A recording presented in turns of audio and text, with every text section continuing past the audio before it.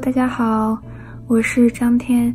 我等一下去，啊，去咖啡店工作学个习，然后，嗯，晚上去健个身吧。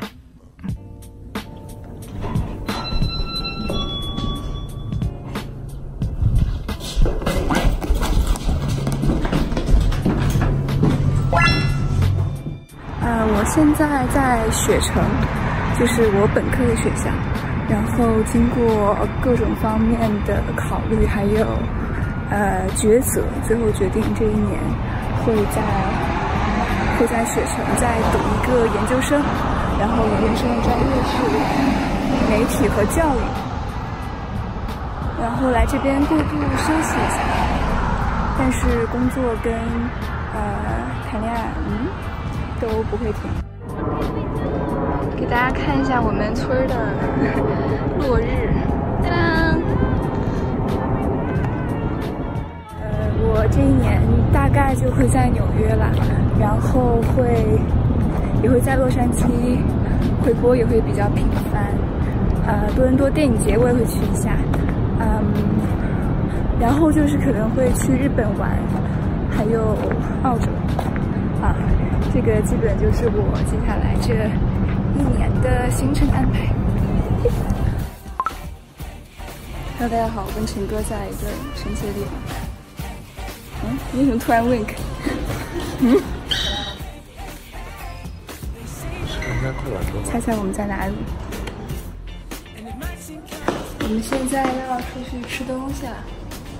陈哥，你好高啊！为什么要我举？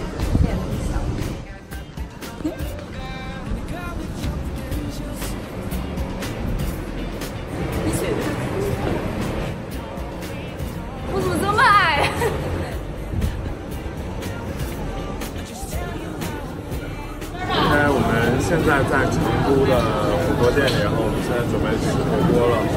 看我脸这么大，脸这么大。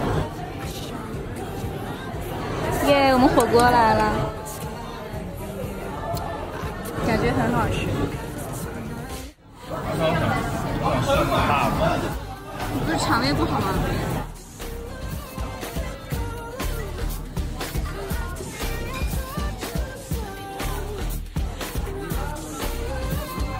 来吧。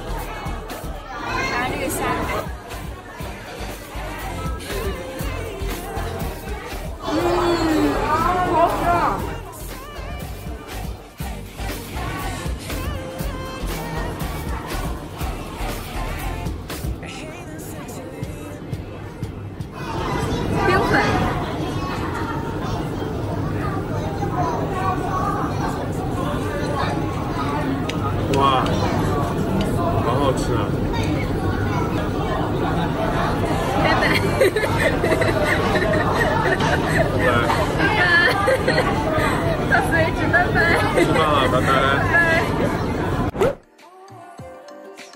呃，生活上没有变化吧，就是正常学习、正常工作，但是就是认识了很多的新朋友，感觉到非常开心。然后因为自己在节目上的形象，然后有被很多人喜欢，然后被很多人就是来评论，就觉得这件事还有点惊讶，然后也也很感激啊，然后也非常的感激各种。工作人员们的辛苦。呃，离开小屋之后呢，生活其实没有太多的改变。如果要说唯一的改变，就是生活里面多出了一个喜欢的人，然后这个喜欢的人呢，让就是我生活里的每一件事情可能都变得更美好一点。然后有也有被人认出来过，就是考驾照的时候啊，还有就是取快递的时候，基本上都是在狼狈的样子的时候被认出来的。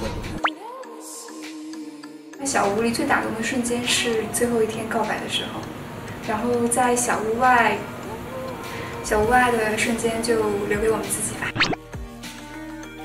因为陈奕迅他是一个，我当之前就说过嘛，他很包容，然后也是个复杂的人，呃，他性格很多东西在节目外会展现的更加的多跟丰富，所以希望大家就是相信陈哥是一个。又复杂又有魅力，还很包容的人，大家可以安心的喜欢他。印象最深的一天是在最后告白那天。就在小屋里面有很多难忘的瞬间，然后举其中两个例子，就是我记得第一天入住小屋嘛，然后，呃，我是中午刮的胡子，然后就北京天气非常干燥嘛，我不知道是不是因为天气干燥原因，然后当时就胡子不知道为什么晚上就自己长出来了，然后我就想第一天见面给大家留个好印象嘛，然后我说我就自己抽空回去，然后剃一下胡子，然后剃完胡子，然后发现我那个嘴那个好像过敏了。然后就一圈都是红的，然后我就想完蛋了，就是这怎么办？然后我就全程就是后面在跟其他嘉宾说话的时候，基本上都是手就是这样捂着去跟他们说话，然后就当时就觉得哎，这样做会不会别人觉得我在我在装酷？然后。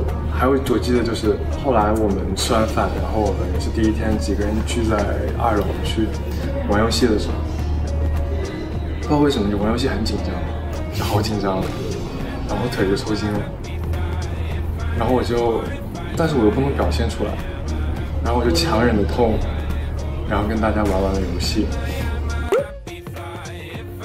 我和张天第二次约会的时候。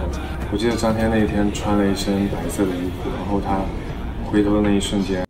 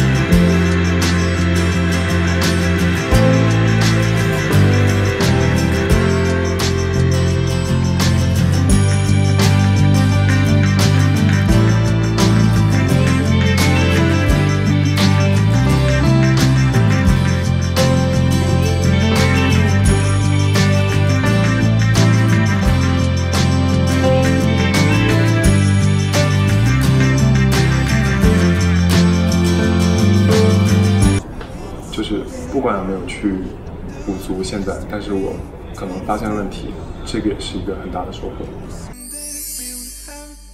就这点，我是想说一下，就是，呃，我是真的觉得好吃，我真的觉得不是，倒不是啥都好吃，嗯，就是我喜欢吃的东西真的挺多的。但是我喜欢吃的，当我看到喜欢吃的东西的时候，我真的会说啊，这这个真的很好吃。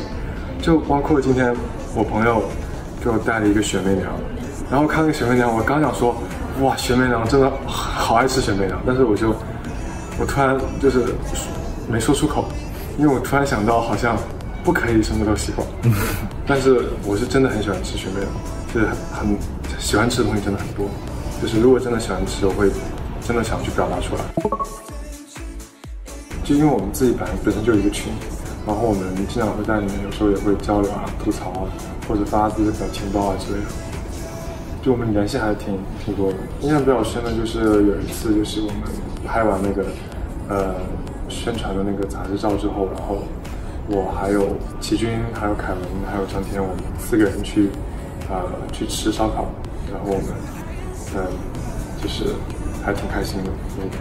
呃，我们当时结束拍摄，第一件事就是拿到手机的第一件事就是建了个群，然后我们联系非常的频繁，基本上每天都会发微信。然后最后一次微信是在今天，嗯，可能黄老师发一个搞笑视频，啊，好，结束。